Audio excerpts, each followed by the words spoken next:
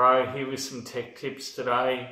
So we're here to talk about the flash code that we see down the front there. We've got a solid orange light on the front of this, which means that we are connected to uh, 240 volt and we're actually charging our lithium battery. So a couple of different fault codes that you may see or, or they're just codes in general.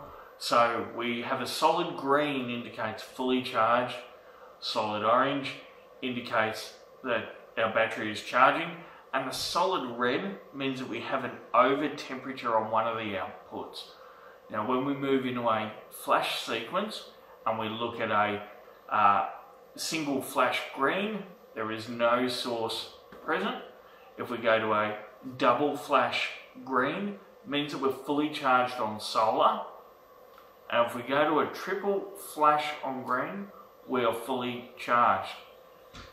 If we go back to a amber double flash, that will indicate that we are um, charging from auxiliary, such as our car, or if we go to a triple flash, we're charging from our solar up on the roof.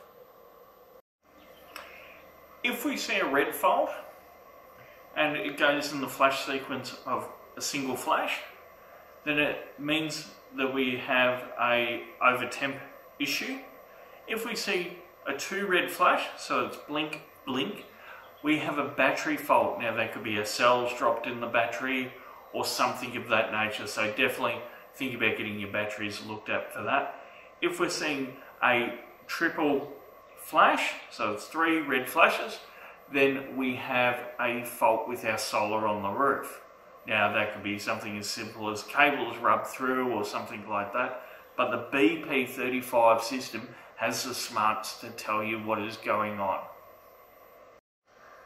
Alright, there you have it guys. If you have any more tech questions, please check out our YouTube video in the link below and uh, we'll be able to help you from there.